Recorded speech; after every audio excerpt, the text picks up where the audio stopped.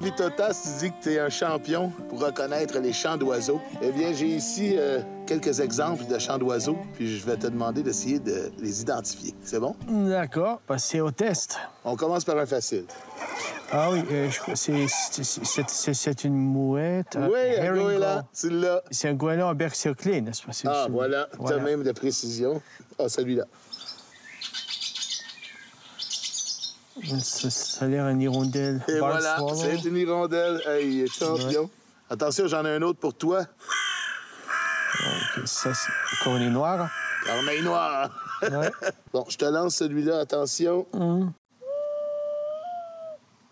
Oh, ça, c'est intéressant. Tourterelle triste. Est-ce que c'est... Tourterelle triste. T'es trop fort.